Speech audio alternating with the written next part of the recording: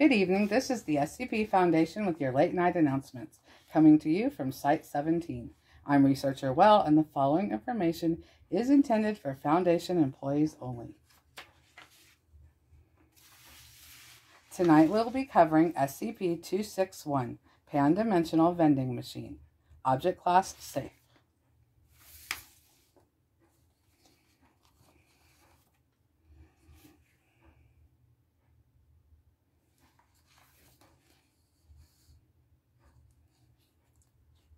SCP-261 Object Class Safe Special Containment Procedures Any access to SCP-261 must be approved by staff with Level 2 clearance or higher. Any and all items dispensed by SCP-261 must be recorded, along with the amount of money entered and the amount of time elapsed between uses. Currently, SCP-261 may be used only 10 times in a 24-hour period, with no transaction ex exceeding the equivalent of 500 Japanese yen. Testing approved by Site Command is not under these restrictions. Items dispensed by SCP-261 should be reviewed by site health and safety officials before consumption. Failure to do so releases the Foundation from any obligation regarding negative effects. Items deemed dangerous or useful to research will be confiscated by site security with financial compensation provided in proportion to money spent. Description SCP-261 appears to be a large black vending machine with no front glass panel and a small keypad on the right side. SCP-261 was recovered in Yokohama, Japan. SCP-261 was brought to the Foundation's attention after investigation of an urban legend about a magic vending machine that was circulating on the internet. SCP-261 was found in a back alley behind a large shopping center with a handwritten sign saying out of order in Japanese taped to it. SCP 261 has no marks or identification of any kind, and no locals remember when or how it came to be in its current location. Internally, SCP 261 appears to be a basic vending machine equipped to vend food and beverage items. After a key was made and the front door opened, no abnormal materials were found and it was determined that SCP-261 has never actually contained any food or beverage items. The keypad, while connected and operating correctly, does not activate any of the dispensing mechanisms.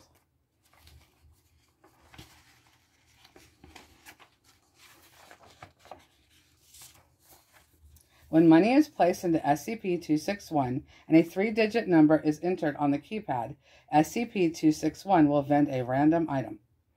SCP-261 has not accepted any currency other than yen, with rejected currency being deposited in the coin return slot. It is unknown how these items appear. However, SCP-261 will not operate when the door is open or when recording devices are placed inside.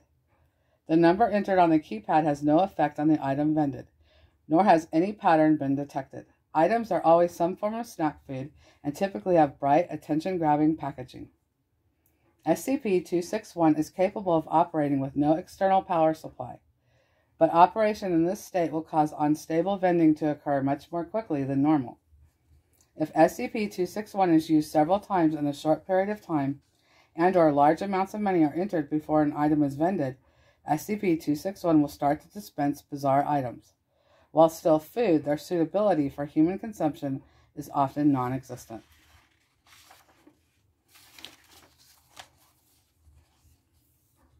Log of items vended during testing phase 8. 800 yen entered for each item, items being dispensed every two minutes. SCP-261 is attached to power. Coke Zero, a can of Diet Coke packaging in English. Cheetos, a small bag of Cheetos snack food packaging in English. Black Black, a single pack of caffeinated chewing gum packaging in Japanese. Yan Yan, a single yan yan cone with peach dipping frosting, packaging in Japanese. The Meiji Seika Company does not produce this flavor. Pepsi Dragon Twist, a can of Pepsi Cola with a trace of fruit flavor, packaging in English. Flavor identified as dragon fruit. fruit. Pepsi Cola does not produce this product. Dark Side Cola, A can with clear plastic sides, packaging in Japanese. Liquid inside is clear. When opened, liquid appears to react to the air and changes to a dark black over a period of several seconds.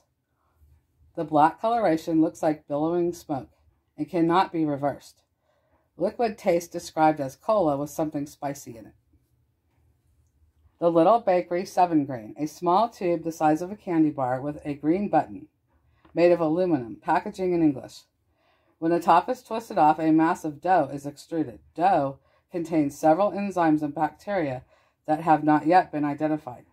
On contact with air, this causes the dough to rise and bake, killing the microbes in the process.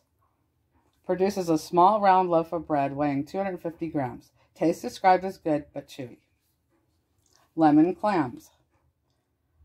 Thick plastic baggie with a plastic tube on the side containing water and 12 clams, packaging in Dutch. Following on package instructions, the package the plastic tube was cracked like a glow stick.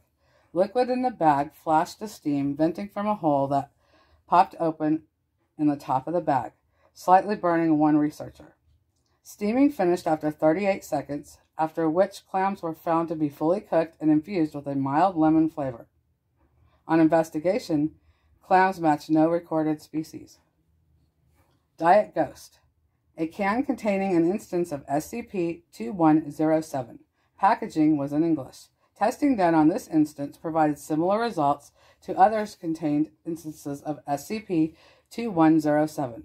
This marks the first time SCP-261 has vended another SCP object.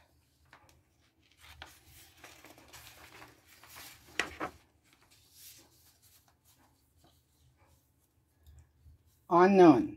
Small mesh bag filled with small multicolored pyramids, packaging in an unknown language.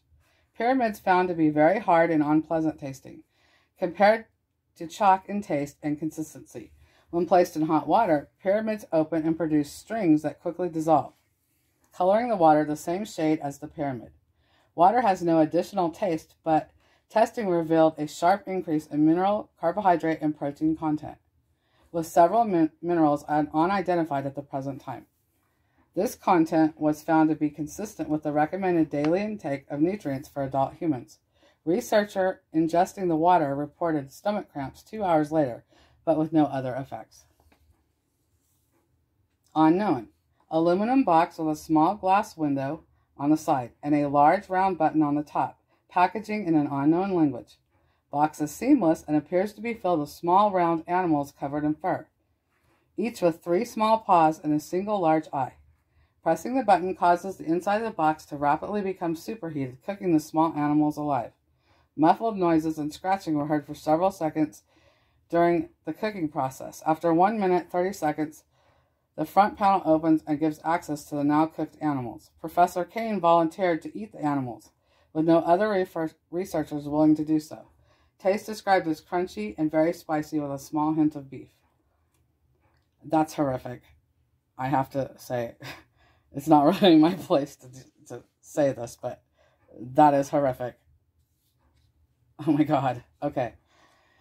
Unknown. Tall, thin aluminum can packaging in an unknown language. Opening the can caused a chemical reaction with the liquid inside the can. Liquid was apparently not intended for oxygenated, oxygenated atmosphere and detonated violently, causing several injuries and killing two researchers. Testing discontinued and area cleared. Testing area observed to smell like citrus for several days. And that is it for SCP-261 right now. You know what I didn't see in this one, and this might be the first time, I didn't see any redacted information. Well, that's amazing. Okay. Typically, I would say if you're assigned to SCP-261 and have proper clearance, most redacted information in tonight's announcements will be provided to you but there really wasn't any redacted information. That in itself is an anomaly.